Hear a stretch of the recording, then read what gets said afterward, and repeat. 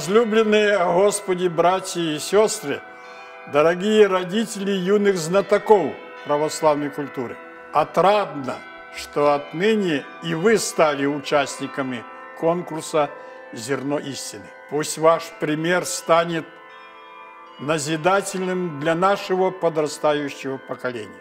И сами вы получите пользу для своих душ, ибо кто сотворит и научит – тот великим наречется в Царстве Небесном. Бог вам помощь.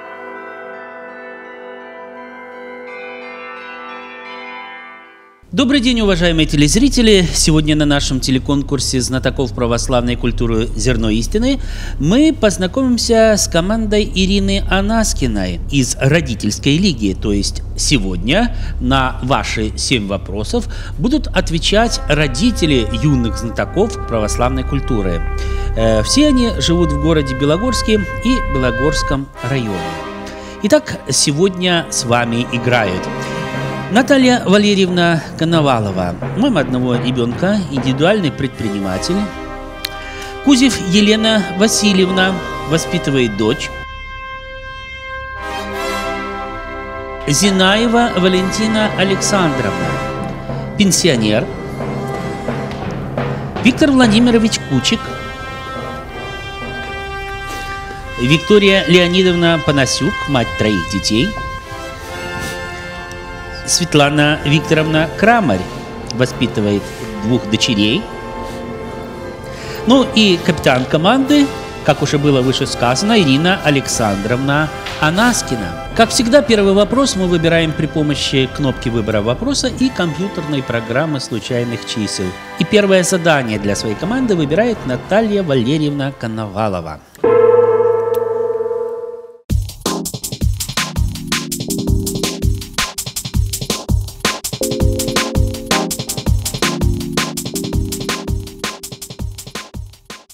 Вопрос номер три. И это телевизионный вопрос от э, Полины Новоселовой из города Старый Крым. Внимание на экран. Здравствуйте, меня зовут Полина, и я из Старого Крыма. Вот мой вопрос. Что в таинстве соборования свидетельствует о том, что Иисус Христос – это свет нашей жизни? Время для обсуждения – одна минута. Ну, соборование это когда э, установлено, да, чтобы если кто из вас болеет, да? Да, да пресвитер, пресвитеры мне помажут маслом. Таинство соборования, свет. А что свет? А, правильно вы сказали. Во время соборования зажигаются свечи. Помните, там читается Евангелие. Да, и зажигается свеча. И, зажигается, и зажигается свеча на время Евангелия. А когда Евангелие заканчивает читать, она задувается. Да? Точно, я ничего не помню. Верно, да, да, да, да, да. Пламя свечей, наверное, и свидетельствует наверное, об наверное, горящая свеча, да? Горящая свеча. Символизирует ну, какие-то еще варианты нет, нет, есть? Нет? У меня был, я ну, снимаю.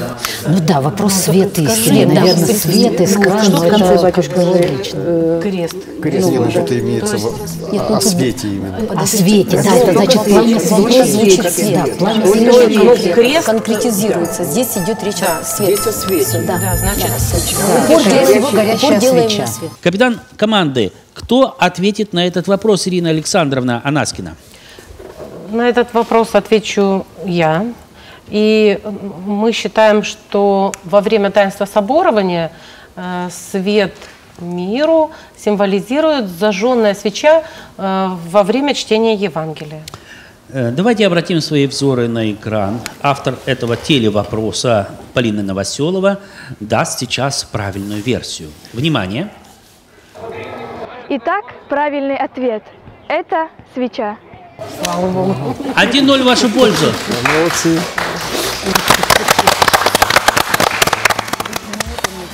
Елена Васильевна Кузев выберет сейчас второй вопрос для своей команды.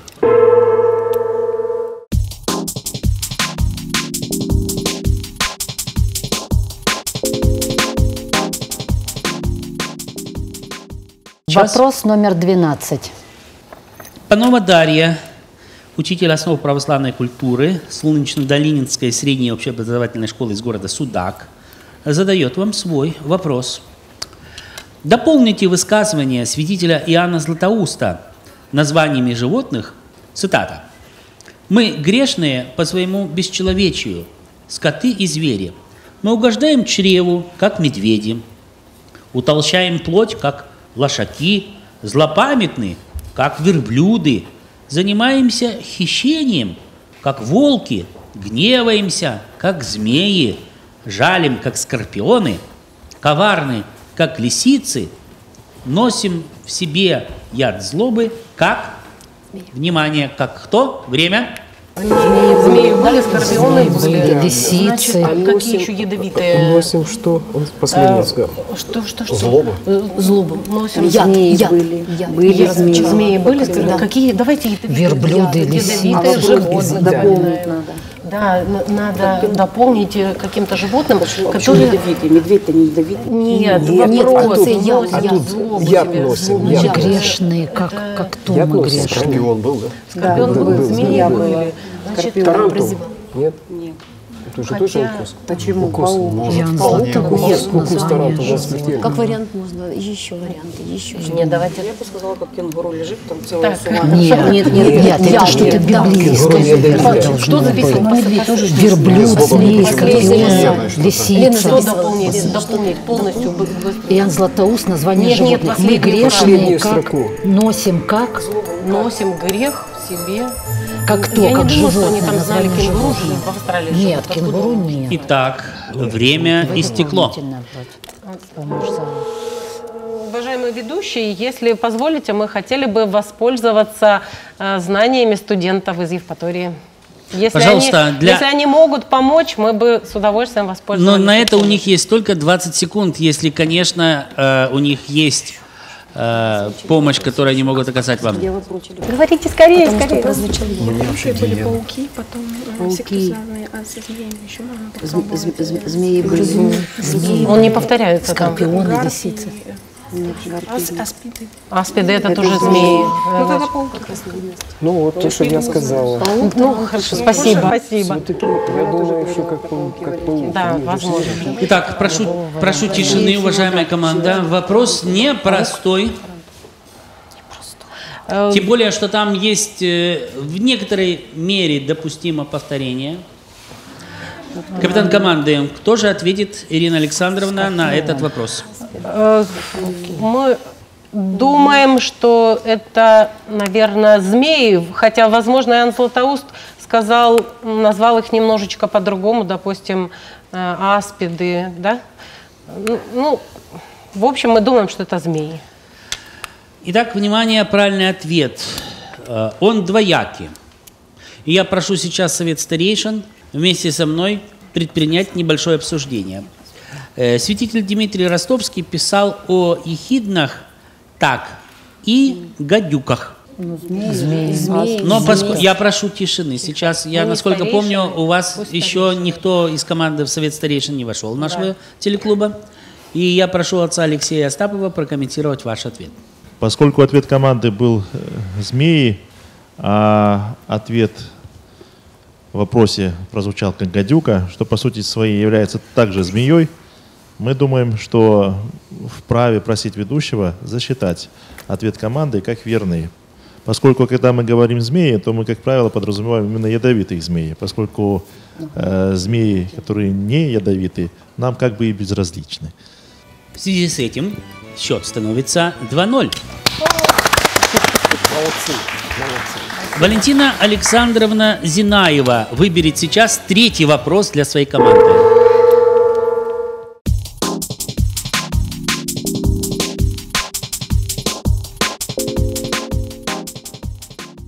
Номер восемь.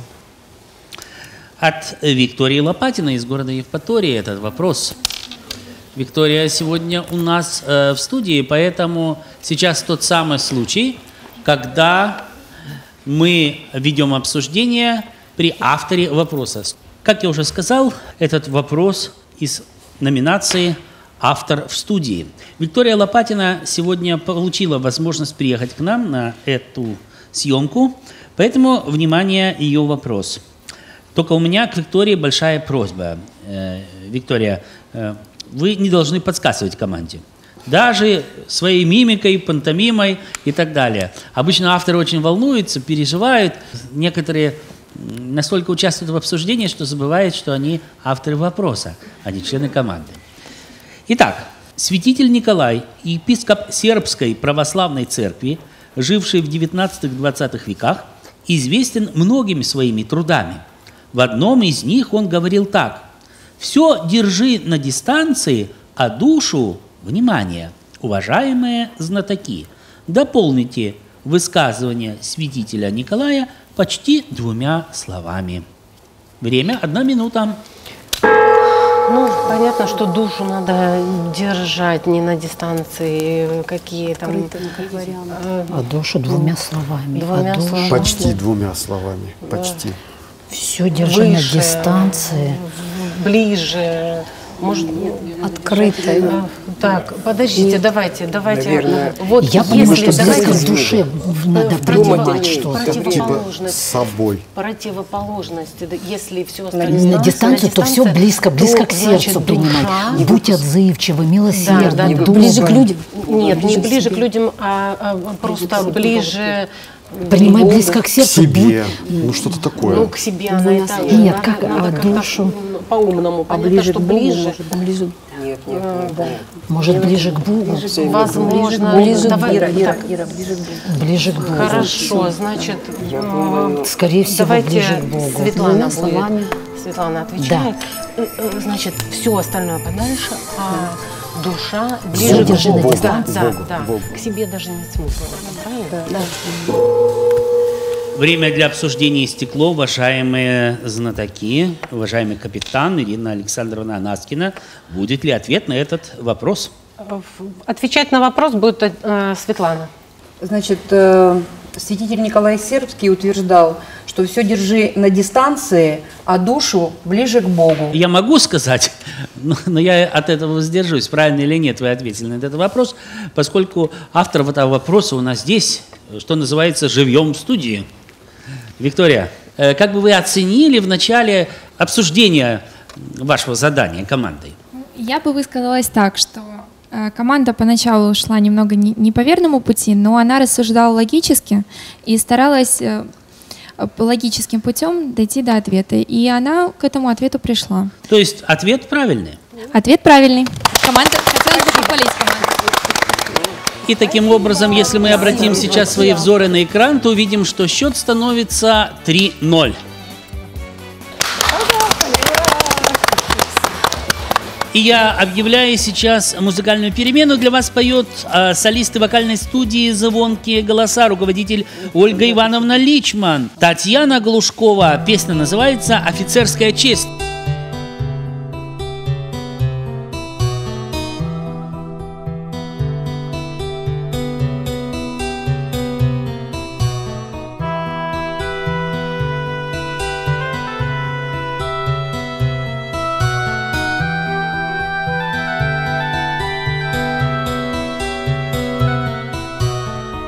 Господа офицеры, преклоняю пред вами колено.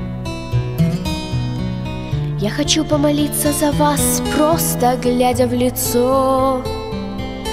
Отмолиться за все, что на вашей душе наболело. Помолиться за прадедов, дедов и ваших отцов. За неистовый труд, за мужские надежные плечи, За надежду, которая светится в вашем лице. Пусть горят, не сгорая, за ваше здравие свечи. И, конечно, за жен ваших, выбравших рай в шалаше. Офицерская честь не менялась от звезд на погонах. Офицерская честь не искала в боях орденов. Кочевала она, замерзая в солдатских вагонах, Возвращая живыми домой молодых пацанов. Господа офицеры, не будут слова мои лестью. Я хочу помолиться за ваших родных матерей. Не судилось им Бог быть рядышком с вами, быть вместе. Суждено ему краткою ждать сыновею у дверей. Помолиться за вас, да сольются слова воедино. За всех тех, кто в строю, и за тех, кто уже не в строю. И пускай расцветает страна под названием Россия. Я в глаза ваши глядя о вас эту песню пою. Офицерская честь не менялась от звезд на вагонах. Офицерская честь не искала в боях орденов. Кочевала она, замерзая в солдатских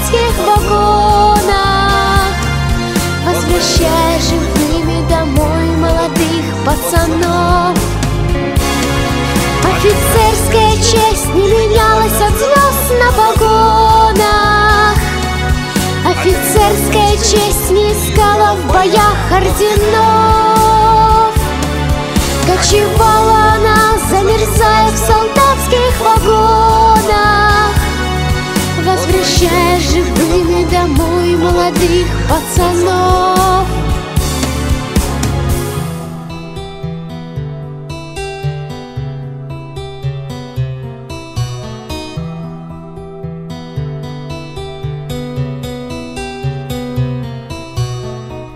Господа офицеры, преклоняю пред вами колено. Я хочу помолиться за вас, просто глядя в лицо.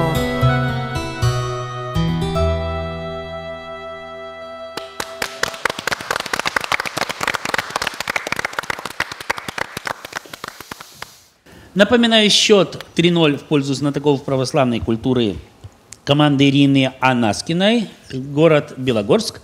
И четвертое задание для своих коллег выберет Виктор Владимирович Кучик.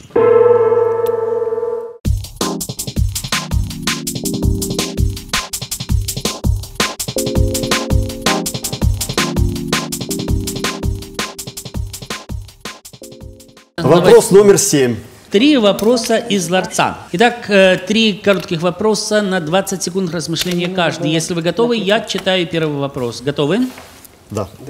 Явление, которым называет себя Спаситель в Евангелии. 20 секунд. Свет миру. Свет миру. Может. А с чем еще? Свет, нет, свет. Ну, кроме... Ну, кроме света, еще кто-нибудь Свет.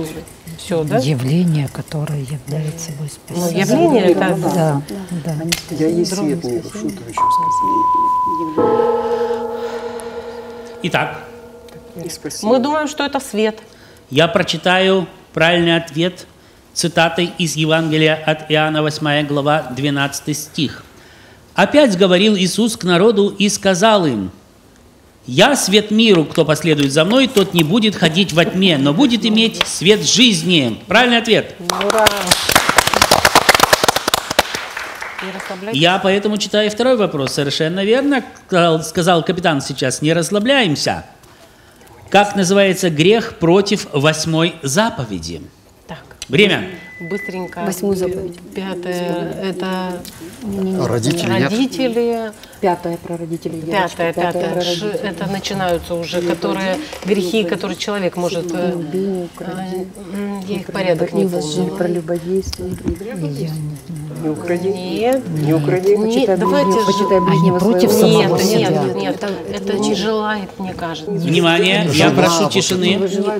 Прозвучал уже сигнал гонга. Итак, грех против восьмой заповеди. Это Ну, мы думаем, что это зависть. Это как, когда человек хочет чего-то чужого.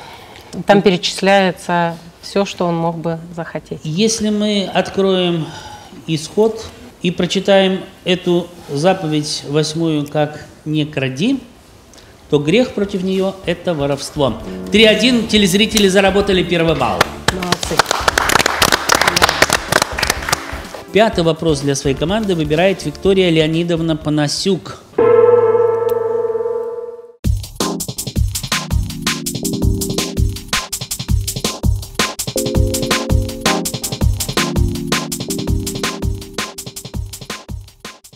Вопрос номер два. Один за всех. И все за одного. Поэтому кто-то один сейчас должен будет остаться за конкурсным столом, а пока вы решаете, кто, я выйду к вам. За столом останусь я, капитан команды.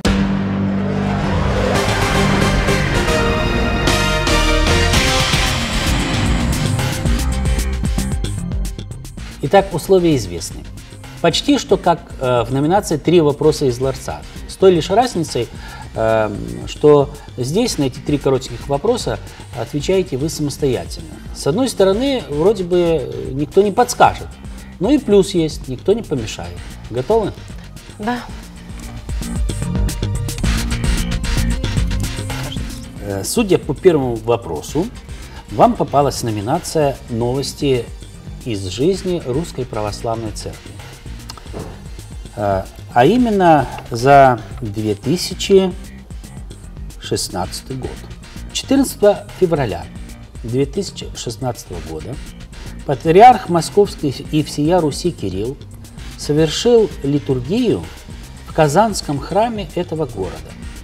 Это очень далекий от нас, очень солнечный, теплый, ну, я бы даже сказал, в какой-то мере курортный город. Нам единственное, что отдыхать туда довольно далековато ехать. Ну и подсказка. Это было во время одного из визитов патриарха за границу, далеко. 20 секунд у вас есть на размышление. Далекий, солнечный курорт, заграничный визит. Я готова ответить. Но уже там даже есть православный храм. Я только не знала, что это Казанский. Да, ну есть православный храм. Ну, Православные храмы по всему миру. Даже на Антарктиде, если я не ошибаюсь. Э, Я могу ответить. Э, Я думаю, что э, Святейший Патриарх, конечно, очень много летает и по э, всей России, и, конечно, совершает и зарубежные визиты.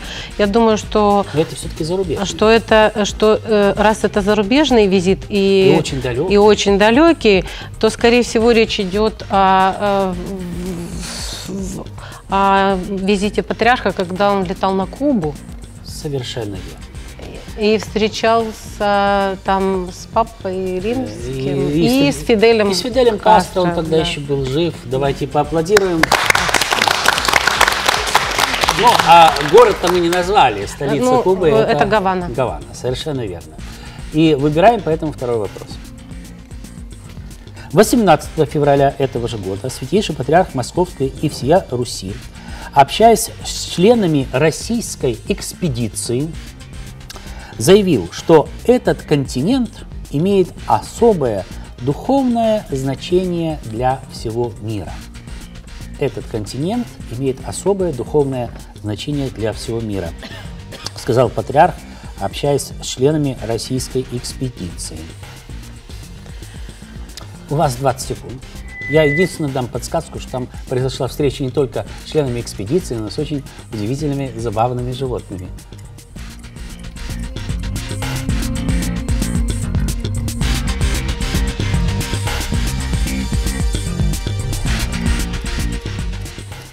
И экспедиция уже не в курортный город, конечно. Итак, Ну, я думаю, что эти забавные животные были пингвины, потому что я видела фотографию э, святейшего патриарха с пингвином, недалеко от пингвинов, и это было очень забавно. Поэтому я думаю, что эта экспедиция была в Арктику. Антаркти- Антарктида. Антарктида. Ну, я приму это за оговорку. Да, да, А, конечно. И давайте все-таки Конечно, Антарктида. Поблагодарим в том числе и пингвинов, что они помогли нам выйти на правильную версию ответа. Ну что же, третий заключающий вопрос. Э, 14 февраля 2016 года премьер-министр Российской Федерации Дмитрий Анатольевич Медведев подписал распоряжение о мерах по сохранению и развитию этого архипелага, который имеет отношение э, и к Русской Православной Церкви, и к трагическим страницам истории нашего многострадального Отечества 20-го столетия. 20 секунд. Я думаю, что это арх- арх- не спешите. У вас есть 20 секунд. У меня просто нет других вариантов. Что, что, что это за архипелаг? Что за монастырь там? Можно ответить так, что там вот такой-то монастырь расположен. И, У меня скорее не, не с монастырем, а с книгой связано. ну вот я в том-то и дело, что боюсь, что вы скажете с книгой, а э, одна из книг, если мы говорим о, о одной и той же книге, э, там ведь все-таки повествуется не только об одном архипелаге. А, то есть там территория захватывает и события в Москве, там описываются и так далее. Да? Вот. А вот на этом архипелаге расположен очень известный монастырь. Ну, ладно, я сейчас начну говорить и уже, по-моему, скажу правильный ответ. Я остановлюсь. Э, Возможно, это Соловецкий монастырь. Совершенно верно. Кстати, в этом монастыре э, пребывал э, в заключении, был репрессирован и э, дедушка святейшего патриарха. Кирилла. Ну что же, я поздравляю вашу команду с правильным ответом. Давайте посмотрим сейчас на экран, увидим там счет 4-1 Огромное спасибо. э, вашу пользу. Самое время, как мне кажется, объявить музыкальную перемену. «Мои родители» поет Анна Михалева, солистка вокальной студии «Звонкие голоса».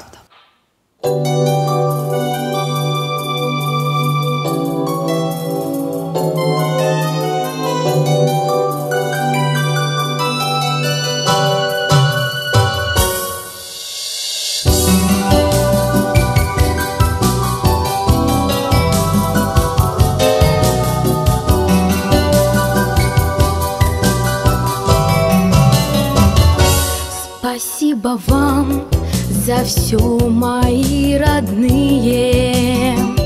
Спасибо вам за то, что я живу, за то, что есть вы у меня такие. Я папа с мамой нежно вас зову. Спасибо вам за ласку и любовь. Спасибо вам за помощь и терпение. Я повторю вам это вновь и вновь. Я повторю, я ваше ведь творение. Мои родители,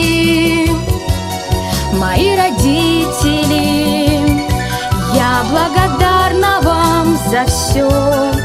Поймите вы, мои родители, мои родители. А если делаю не так, меня простите вы. Спасибо вам за нежность и тепло. Я вас люблю, я за вас в ответе, что в вашей жизни было лишь светло. Дороже вас нет никого на свете. Мои родители, мои родители, я благодарна вам за все. Поймите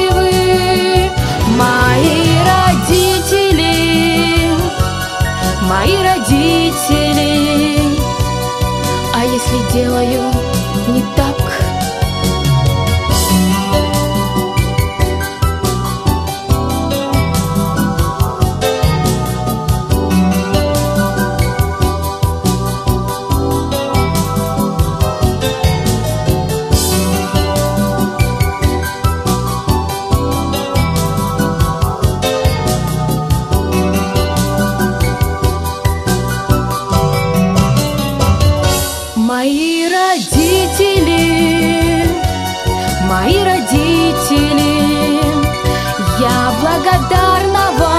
за все.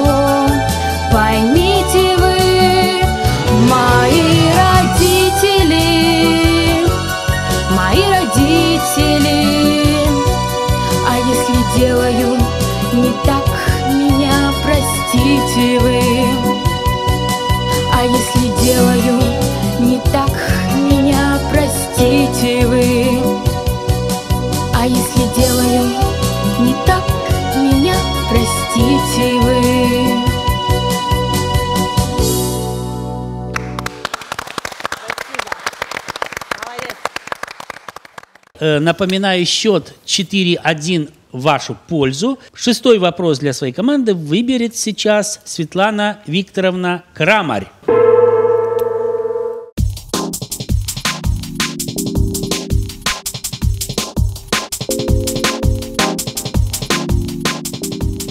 Вопрос номер один. Автор этого вопроса Леонид Климович из города Гомель. Э, Светлана Викторовна, помните, кто такой Чарли Чаплин? Конечно, Ну. звезда э, немого кино, Да. режиссер, великий актер. Да. Сэр Чарльз Спенсер Чаплин, американский и английский киноактер, сценарист, композитор, кинорежиссер, как вы правильно заметили, продюсер и даже монтажер. Вообще универсальный мастер кинематографа, создатель одного из самых знаменитых образов мирового кино, образа бродяги Чарли. Так вот, Чарли Чаплин называл ее зерном, из которого произрастает юмор. Настоящий юмор, конечно.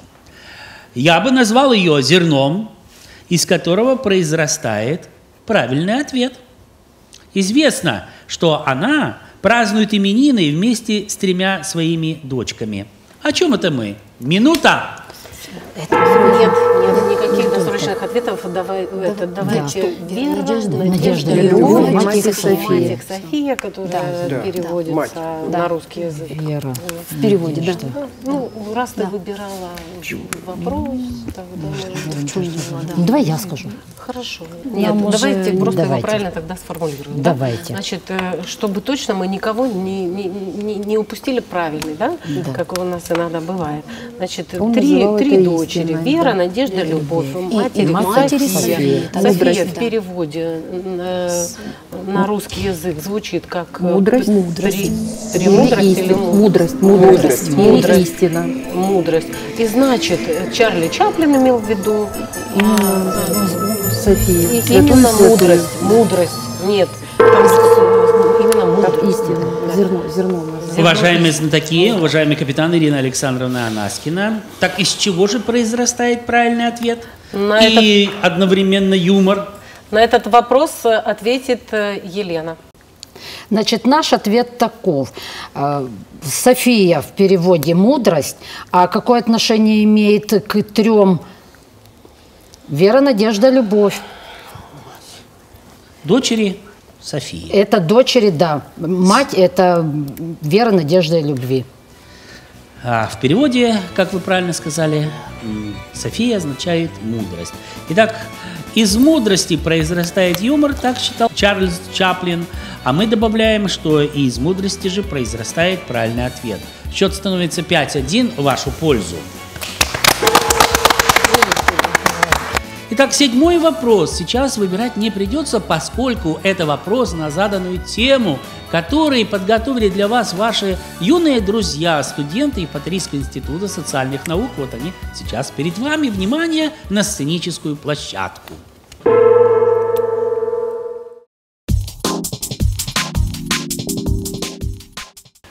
Пациентка, старшая из сестер, жалуется. Я с друзьями уже давно не могу увидеться. Они не хотят меня видеть. Врач-психолог ей отвечает. Вы не могли поддержать их в трудную минуту. Даже не поговорили с ними. Вы обвиняли их в забывчивости о вас. Пациентка, средняя сестра, жалуется. А я не могу найти свою любовь. То один некрасивый, то второй глупый, то третий хвастливый. Никак мне не везет. Врач отвечает ей. Вы ищете в них только изъяны, а на свои посмотреть не можете. Пациентка, младшая сестра, жалуется. На работе одни проблемы, все безинициативно ничего не делают, ленивый кошмар просто, а не работа. А врач ей в ответ. Вы не смогли подменить свою коллегу, хотя и знали, что у нее ребенок больной. Не смогли взять трубку, хотя и находились рядом с телефоном, и из-за вас сорвались важные переговоры. Ой, вы не участвовали в мероприятиях коллектива, и поэтому он вас не замечает как хорошего специалиста. Знаете, девочки, вот вам урок. Если хотите, чтобы вас уважали, то докажите это делами. Отвечал психолог всем своим пациенткам, которые потом обиделись на него и перестали посещать его сеансы. Итак, вопрос. Назовите хотя бы один из отрывков Евангелия от Матфея, который мы вам только что показали. Что бы все это значило? Время! Так, давайте. Значит, первая притча, одна, которая прозвучала. Из дев- Смотрите, там могут быть это о девах, потому что там слишком много э, было дев, же сестры, там сестры. нерадивые Нет, нет, там, наверное, нет, Нет, потому что там масло. девах нет. не оно, Даже да? у них одна тема была, а А, тут несколько. Да. Там одна тема была. Да. Но у всех все обвиняли А, других, так- а в себе надо искать причины. Какие, какие еще могут Ну вот быть три. там варианты? Ну, суть-то Может одна быть, была. вот э, а, Там суч- 12 сучки дел, там же, да, там да, же, да, там же да. пять четко, Притча. а пять Как- не как она Это уже не подключено. Да, да, нет, Это, ну это мы уже это откинули как, когда, когда говорит, вынь сначала э, Бревно своего, своего своего глаза. глаза, Да. а, и тогда ты сможешь вынуть сучок из э, глаза своего ближнего. не видеть да? сучок глазу брата своего. Да, да, что ты да. не видишь бревна в своем глазу, а сучок в чужом То, видишь. есть- то есть варианты да, как- никакие другие не Да. рассматривали, Еще. нет? Там Ну, это как один из вариантов, да. какие, еще какие что? еще А может, еще вот это «Не суди, не судим будет»? Ну, из этой серии. Тоже, Тоже из этой серии. Может, все Матфея, да. ну, из давайте, этой наверное, серии. все-таки про. Ваше время истекло, капитан команды. Прошу остановить обсуждение, Ирина Александровна. Э, На вопрос будет отвечать Виктория. Э, Наша команда подумала и решила, что использовано несколько притч. Э, Одно из них звучит «Вынь бревно из своего глаза», а также «Не суди, да не судим будешь». Давайте попросим ваших юных друзей, студентов Евпаторийского института социальных наук, Мария Базарова, представитель этой команды, сказать, правильно или нет, ответили э, сейчас члены родительской лиги на ваш вопрос. Итак, Библия, Евангелие от Матфея, глава 7, стих 1 и 5 гласят «Не судите, да не судимы будете, ибо каким судом судите, таким будете судимы, и какую меру мерите, такую и вам будут мерить. И что ты смотришь на сучок в глазе брата твоего, а бревна в твоем глазе не чувствуешь? Лицемер, вынь прежде бревно из твоего глаза, и тогда увидишь, как вынуть сучок из глаза, глаза брата своего». Я напоминаю, счет становится 6-1 в пользу знатоков э, православной культуры.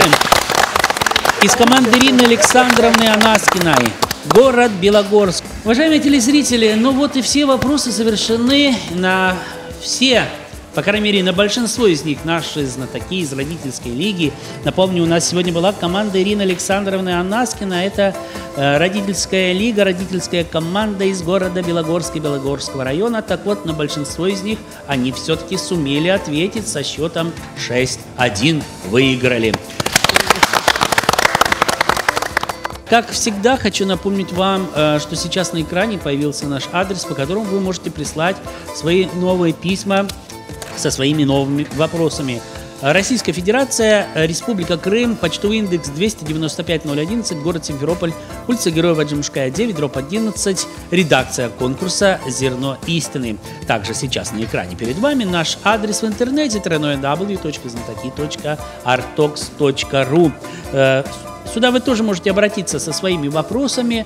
Э, Здесь вы можете найти достойный ресурс для того, чтобы подготовиться к новым играм и, может быть, принять участие впоследствии в нашей телевизионной версии проекта «Конкурс знатоков православной культуры. Зерно истины». А на сегодня у нас все. Ангелы-хранителя всем вам. Не забудьте включить свои телевизоры ровно через неделю. До новых встреч. До свидания.